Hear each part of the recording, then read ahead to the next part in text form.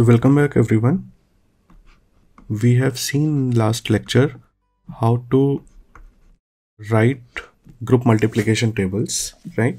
And we have also seen the detailed properties of groups using some solved examples. Let us now see how a group can be divided into smaller subgroups. So what is the definition for a subgroup? So subgroups can be formed a subgroup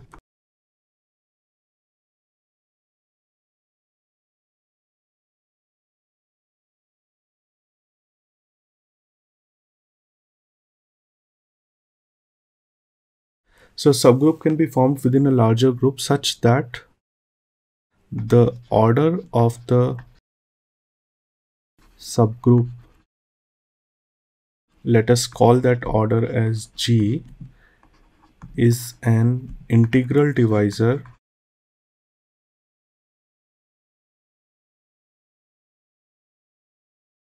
to the order of the group which is h. Right? So in other words if you take h by g this should be equal to k where k is an integer. So that should be very clear. So now let us take an example. Let us take let us quickly write a gmt group multiplication table for water. The water is c2v point group right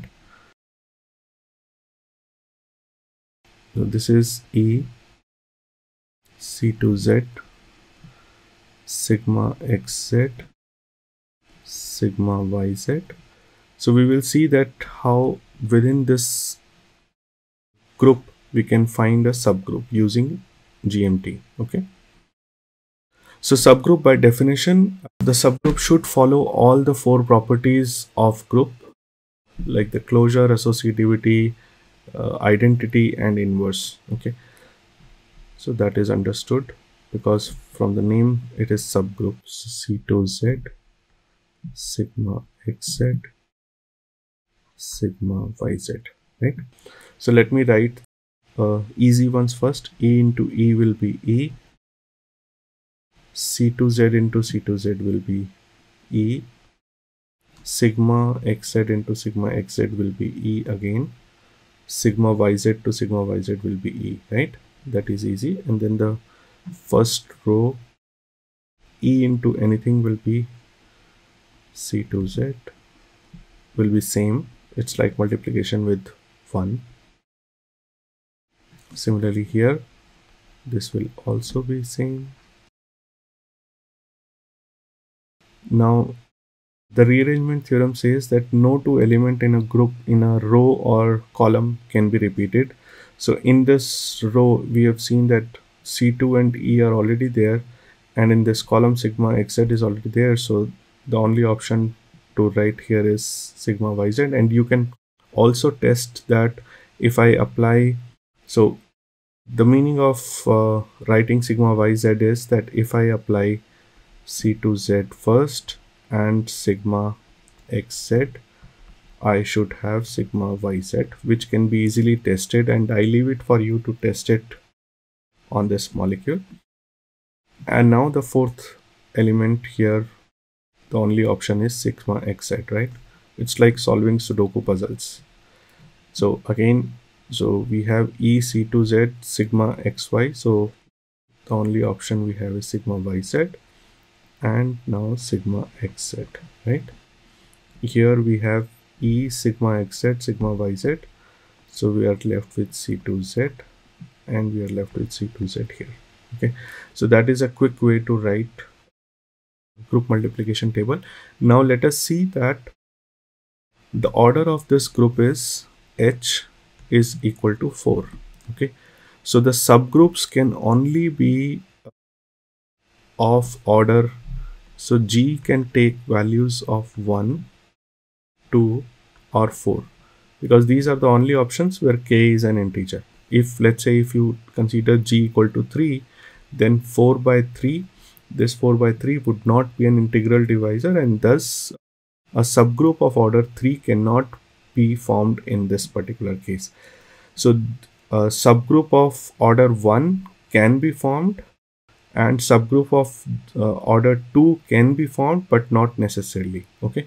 So it may or may not be present but these are the only subgroups which may be present. So let's see. Uh, the first thing is the subgroup of order 1 e will always follow all the properties of subgroup right? So e will be a subgroup always so let us now see, uh, do we have any other subgroup of order 2? So E, C2Z, C2ZE.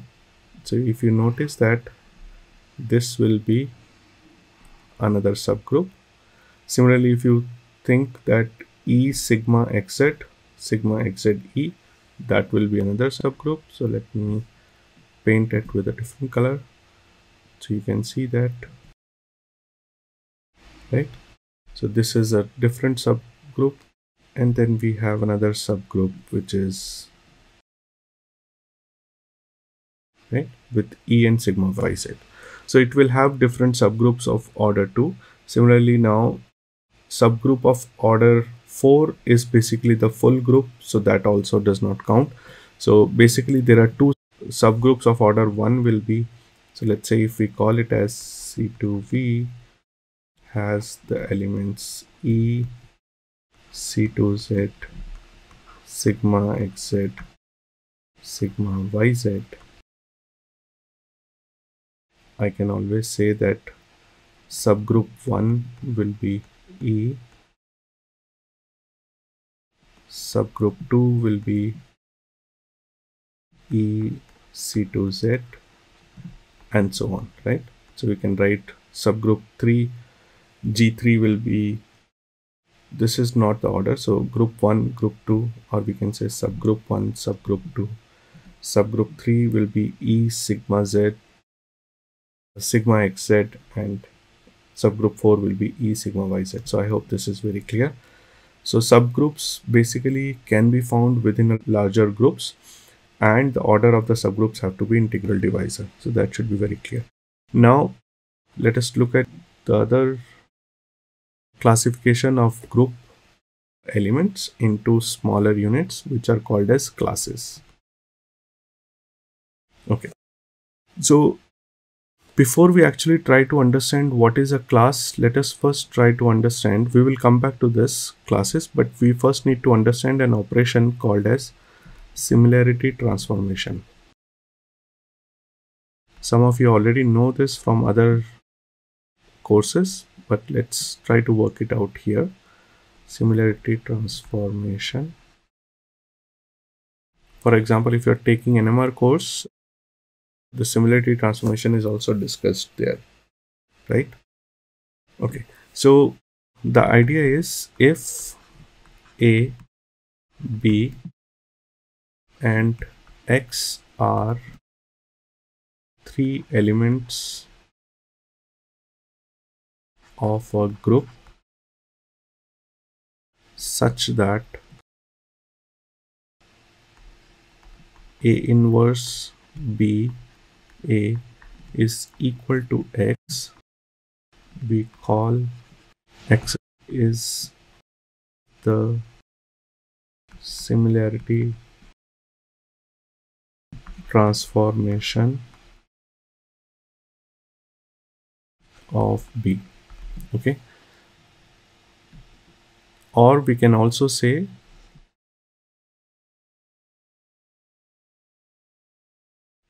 x and b are conjugate to each other. What does it mean? We will come to that. What is the physical meaning of that so, but the definition is clear. So, similarity transformation, if uh, A, B and X are three elements such that A inverse B, A is equal to X, then we call X is the similarity transformation of B. Or we say that X is the conjugate of B and we will show that B will also be conjugate of X. Okay, so let's uh, try to look at few properties of conjugates or under similarity transformations so properties.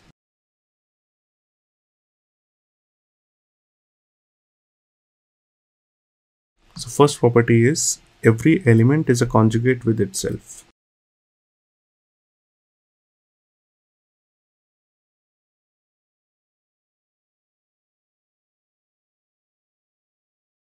So this means that if we have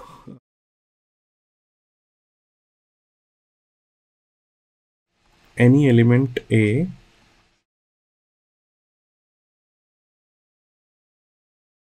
then there must be some element and we will show how to prove it. Some element x or at least one element x such that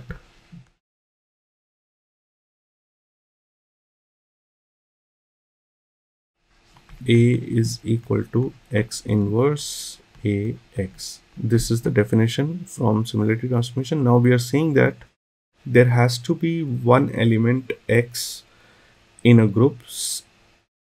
If we have an element a there must also be an element x in the group such that this relation holds so that a is a self conjugate okay. So now how do we prove this? So let us see. If we multiply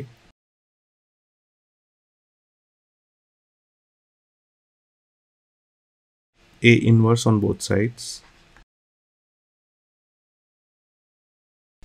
What do we get? A inverse A. So we have A inverse, X inverse, A and X.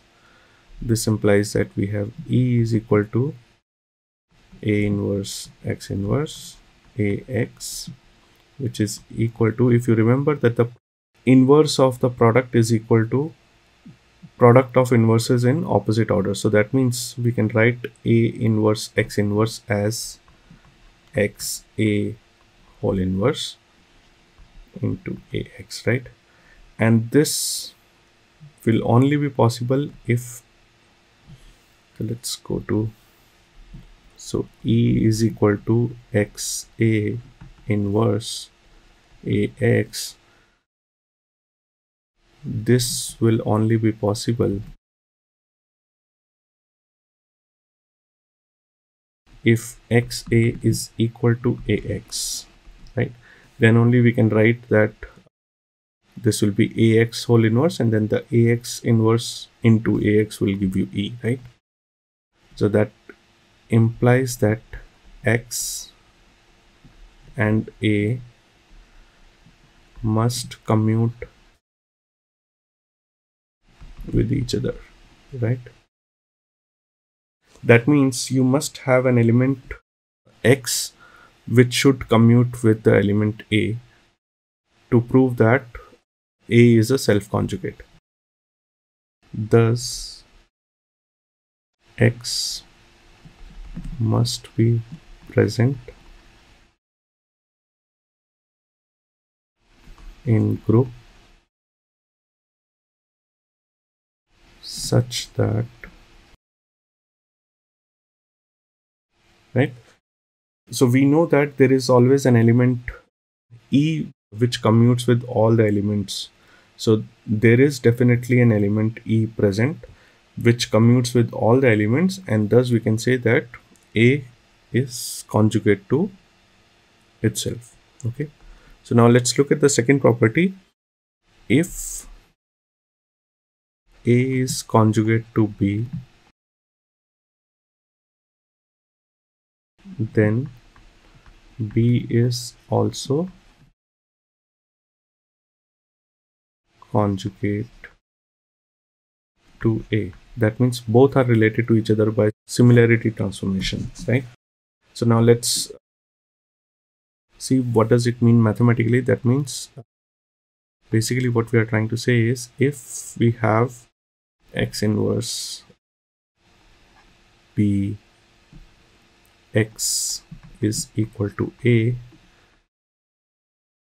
then we must have an element y such that y inverse a y is equal to b.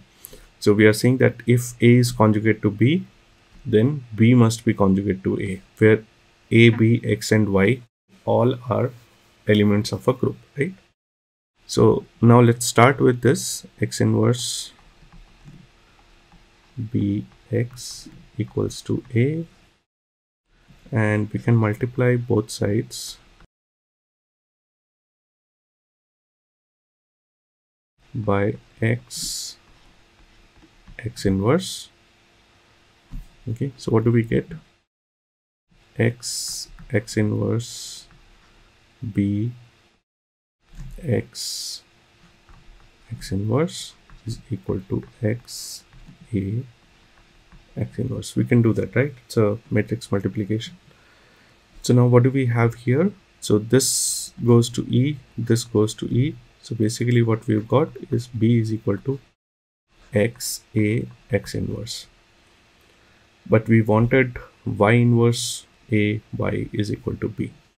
So now this is possible only if let's say if x inverse is equal to y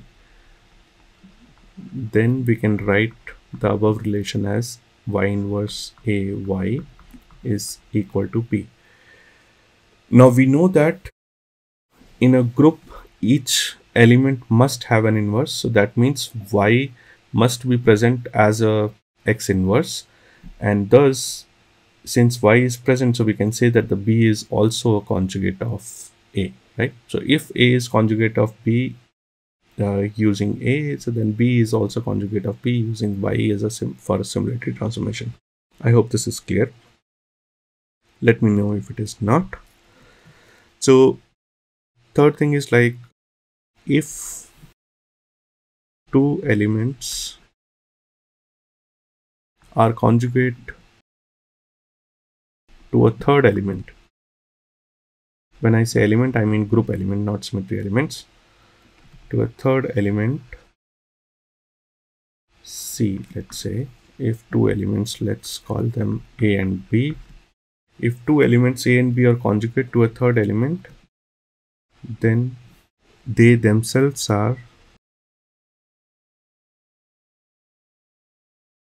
conjugate to each other. Alright, what does it mean? So that means what I'm trying to say is if x inverse ax gives you c, y inverse b y gives you c, then there must be an element z in the group such that z inverse z is equal to b. Then and then there must be another element m let's say. Also you can show m b m should be equal to a because we have already shown this so i'm not going to show this part. So this we have already shown. If a is conjugate of b is conjugate of a then a is conjugate of b and all. Okay? But uh, the point here is that if uh, c is conjugate of a c is conjugate of b then a and b are conjugate to themselves. Okay so now how do we prove this? So again uh, let's start with x inverse a x equals to c equals to y inverse b y. And now multiply x x inverse on both sides. Then what do we have here? X x inverse a x x inverse is equal to x y inverse b y x inverse right? Now this side this becomes e this becomes e. So we are left with a. And we have here we have xy inverse xy inverse b. And we have yx inverse. Yx inverse. Okay? So now let us assume x y inverse is equal to z inverse. This comes from properties of group. So if we have z inverse over here and now if we take uh, inverse of the whole thing x y inverse of the whole thing then we get z. Now this thing we can write it as y inverse inverse and x inverse which is now equal to z right?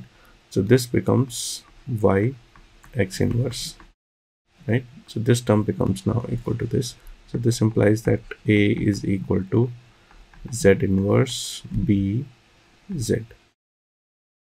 So that means if x and y are elements of the group z is also an element of the group because it is related by product relation or combination relation thus a and b are proved to be conjugate of each other right? So that should be very clear. So now coming back to definition of class okay? Now that we have understood what is a conjugate so let's look at the definition of class. So a complete set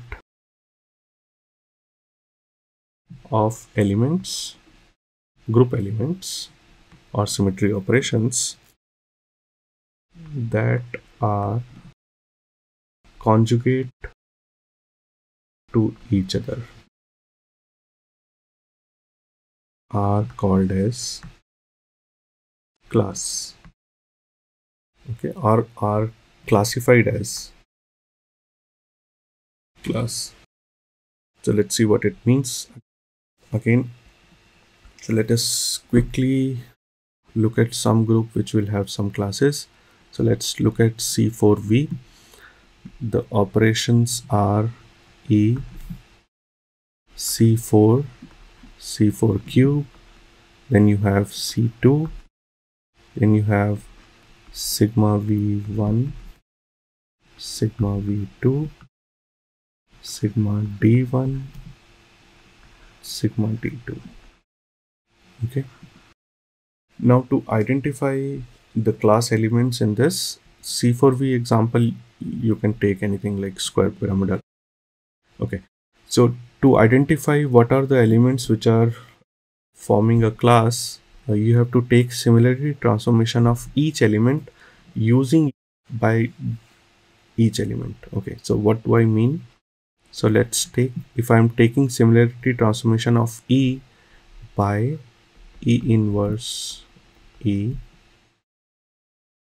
c4 inverse e c4 c4 cube inverse e c4 cube. C2 inverse e c2 and so on. So what do i get here? In all these cases you will see that i will get e nothing else right so then we can say that E is a class in itself. So E always forms a subgroup and similarly E forms a class also. Okay. So E is a class in itself. Now let's also look at other operations. Let's see, let's look at C4. Okay. So if you have a group multiplication table, finding these products is much easier. So that's why the importance of group multiplication table. But let's look at this. So E C4 inverse E. What do I get? C4. Now let's say if I do C4 inverse C4 C4 so what do I get if I do this uh, multiplication? So C4 into C4 will give me C4 square and then C4 inverse will be equal to, so let's, shall we do that or we should either get C4 or C4 cube. Okay, I'm leaving it as a home exercise for you to do it because there is not much time now. So let's try to make a point. So let's c4 cube inverse c4 c4 cube. This should also get c4 slash c4 cube. Either of this will come out as an answer. But what you have to do is you have to if you write this group multiplication table it is easier because then we know what is the product of each. Otherwise what you can do is you can actually uh, take a molecule do this operation and see what you are getting okay? Similarly do it for c2 inverse c4 c2 and see what you are getting okay so now when i do these operations on c4 i get either c4 or c4 cube okay similarly when i do these operations these similarity transformations onto c4 cube I get either C4 and C4 cube. So that means this tells me that C4 and C4 cube form a class. C2 will be a class. So again, try to for to identify whether C2 will be a class in itself, uh, just like we did for E or C4. Again, do it for C2. So what I mean is then you have to do all the operations to identify what are the conjugates of C2. C4 cube inverse C2 C4 cube and so on. So calculate and every time you will get uh, C2 as an answer. There is no other element which you will get, right? Similarly, if you do similarity transformations of sigma v1, you will get either sigma v1 or sigma v2. Okay, so that means these sigma v1 and sigma v2 will be forming a class.